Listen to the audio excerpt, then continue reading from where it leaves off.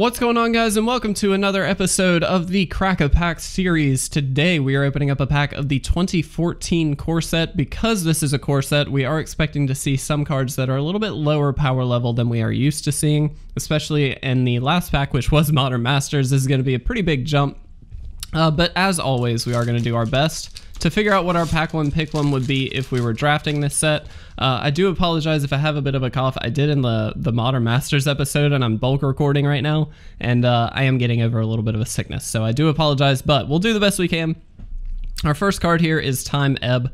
It is two and a blue for a sorcery. Put target creature on top of its owner's library. This is a perfectly great tempo spell. At three mana, it's reasonably costed in my opinion. Sorcery speed is obviously a bit of a downside, but it's really not the biggest downside in the world. You essentially put something on top of their deck, you know that they're going to be drawing that. They're probably just going to be replaying that. If they don't have a land especially, they're going to be replaying that. Uh, and so I really like a card like this. Downside, obviously, being that it does only hit creatures. It'd be really nice if it hits something else, uh, even just permanent in general or non-land permanent, something but it's fine. I think it's a perfectly fine tempo spell. Not really first pickable in my opinion, but it is pretty good. Excuse me. Uh, Soulmender is a 1-1 for 1 white. You can tap it and you gain a life. Pretty straightforward card. Not one that I really like. Uh, life gain in general, unless you're really dedicated to the strategy, tends not to be very good and limited. Uh, it's fine and constructed where you can really, really build around, get a lot of synergy going and things like that. But in a card like this, where you're literally just gaining one life every turn, and it really doesn't last very long because it's just a one drop, it's probably either going to have to chump block or just die to a burn spell or a kill spell of some kind.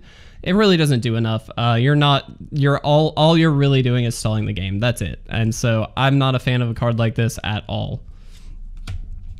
Uh, Verdant Haven is an enchantment land. Uh, so two and a green. Uh, whenever it enters the battlefield, you gain two life, and whenever the land is tapped for mana, its controller adds one mana of any color to his or her mana pool. This is great if you're in a multi-color strategy or if you're just in a general ramp strategy. It's perfectly fine there as well.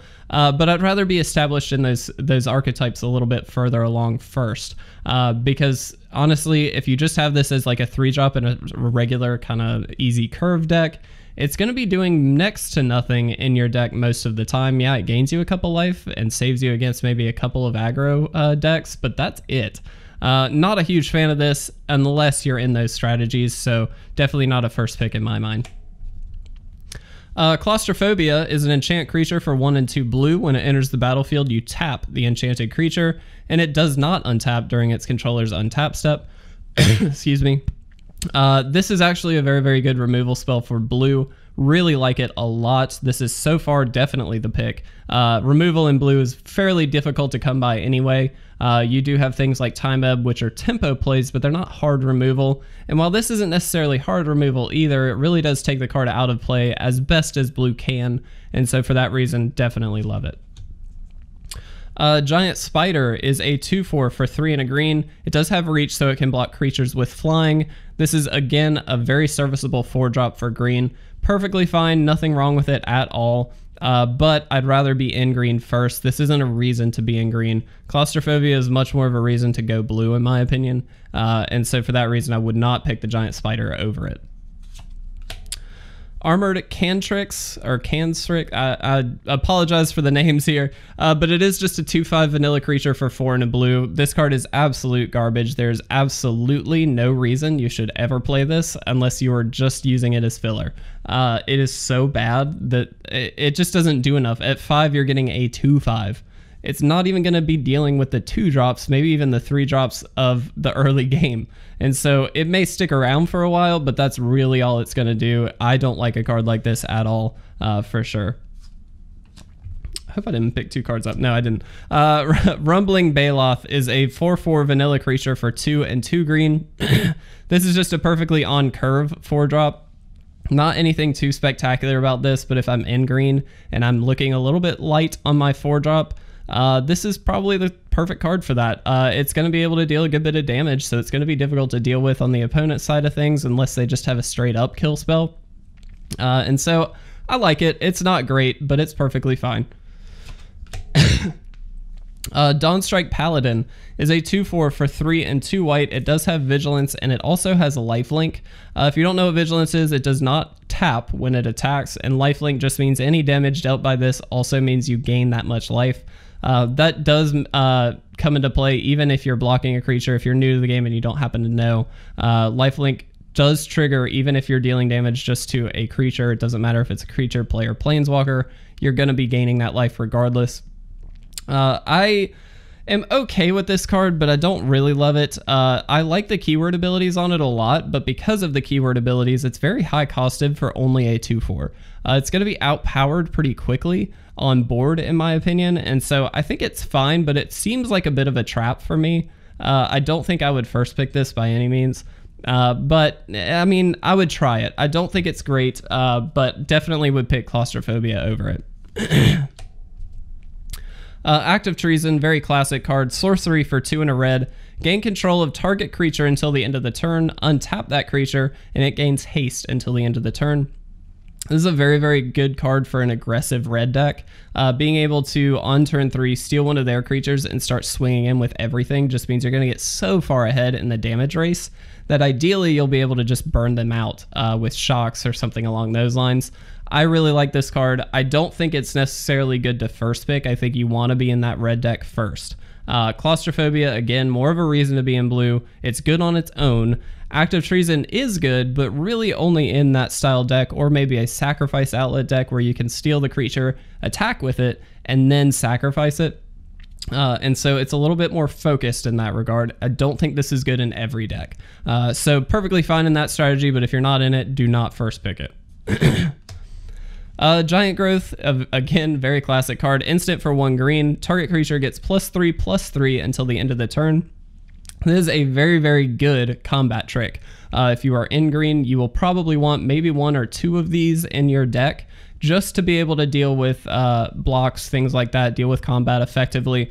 It's very, very efficient. At one green for plus three, plus three, that is huge. So very much enjoy this card. Definitely would want it. Again, if I'm not established in green, though, this is not the kind of card that I want to first pick. Our first uncommon is Bubbling Cauldron. It is an artifact for two of any color. You can pay one and tap it, sacrifice a creature, and you gain four life. Or you can pay one, tap it, sacrifice a creature named Festering Newt, and each opponent loses four life, and you gain life equal to the life lost this way. I hate this card. Uh, to be honest, I don't like the little Festering Newt combo. Festering Newt on its own is an okay uh, early drop, but this card is very dependent on Festering Newt. It's not good to just sacrifice a creature and game four life, in my opinion. Uh, it's okay to drain four life, but you are losing a creature in the process, and it does have some, I guess, synergy there, but in general, not a fan of this card. uh, Kalonian Tusker, I hope I'm saying that correctly, is a 3 3 for 2 green vanilla creature, but it is a 3 3 for 2, and in this set, that's pretty rare to come by. This is a very, very good aggressive creature. Uh, in a green deck, this is perfect. You want as many of these as you can get for the early turns of the game because a lot of times you can just start outpowering the opponent very, very quickly in green. Uh, and this helps you do that very, very well. I don't necessarily know if it's better than claustrophobia. I would tend to lean towards claustrophobia just because I like that style of deck, the tempo removal style decks a little bit more. Uh, but this is a very, very good card if you're in for the creature based, just aggressive strategy. uh, Diabolic Tutor is our last uncommon. For two and two black, it's a sorcery. Search your library for a card and put that card into your hand. You then shuffle your library. Normally, tutors are like hit or miss. I've found in limited, uh, unless you're like cube drafting or something where it's very, very specific deck archetypes. Uh, in limited, it's like, yeah, you can get cards, but if you don't have like a great win now kind of target, it's not that great. You still have to pay four mana for this, then be able to pay for the mana of the other thing that you're getting. It's nice that it's any card for sure, but that's a very expensive tutor, uh, and it only goes uh, well, it does go into your hand, but it's just so, so much mana investment. I don't like this card for limited personally. Uh, I would argue that there are probably some people that like would swear by this card because it's a tutor, and that's perfectly fine. Uh, I just do not see it as as good, so that's where I land on that. And then our rare is Ajani's Chosen, so it's two and two white for a three three Whenever an enchantment enters the battlefield under your control, you put a 2-2 white cat creature token onto the battlefield. If that enchantment is an aura, you may attach it to the token. It is a very interesting card.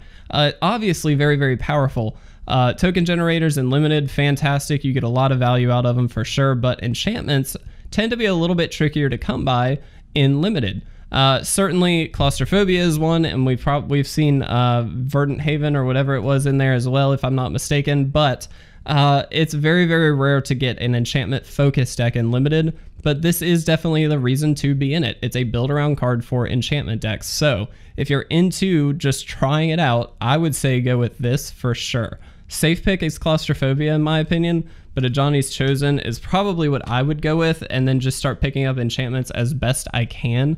Uh, it's just so much value if you can make it work. So I think it's worth the risk. Uh, if you disagree, please let me know in the comment section below. But if you liked this video, please make sure to leave a like or a comment down below. And as always, please make sure to subscribe to stay up to date on all of our awesome content. But with that, I'm going to get out of here. Thanks for watching, guys. I'll see you in the next Crack a Pack video.